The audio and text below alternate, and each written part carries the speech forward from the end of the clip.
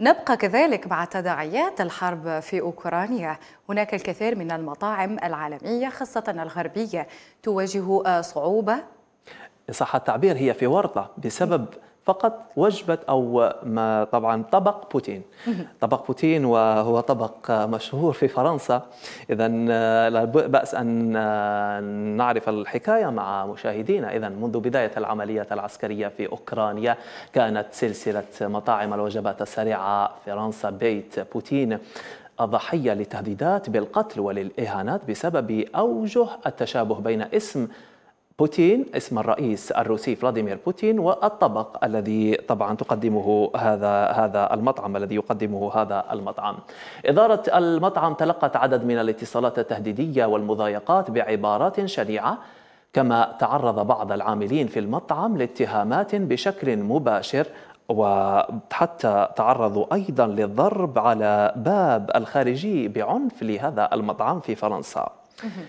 وهذا الأمر دفع طبعا سلسلة المطاعم إلى نشر رسالة رسالة عبر صفحاتها في منصات مواقع التواصل الاجتماعي لإيقاف المضايقات التي ترهق الفريق وتحطيم معنوياته.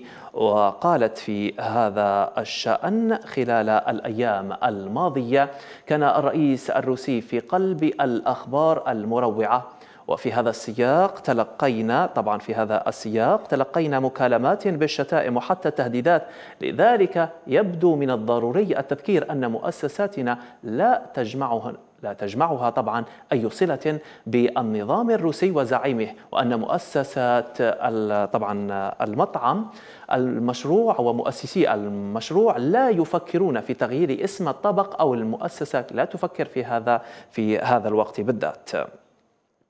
طبعا الوجبة أمال وجبة تذكير ما هي الوجبة الوجبة عبارة عن بطاطس مقلية وصلصة وصلصة وخثارة جبن وتشكل جميعها مزيجا شهيا في طبق تقليدي اسمه بوتين كما يظهر أمال في الشاشة هو طبق تقليدي فرنسي أم أنه روسي؟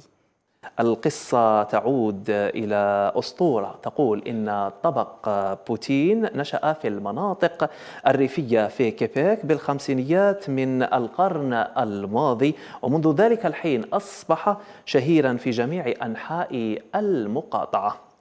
وفي عام 1964 ادعى مطعم في دروموندفيل يسمى لوري جوسيب أنه المخترع الأصلي لطبق بوتين باعتباره أول من قدم الطبق بشكل الذي نعرفه اليوم أي البطاطس المقلية والجبن والصلصة كما قام مالكه دانيال لوبالان بتسجيل مصطلح مخترع بوتين في المكتب الكندي للملكية الفكرية. نفس الأمر يتعرض له آه، سلسلة المطاعم تتعرض له في كندا أمال ولسنوات عديدة عرف هذا الطبق باسم بوتين الذي ظهر من خليط بين كلمة الإنجليزية بودينغ والاسم المستعار للطاهي تيبو.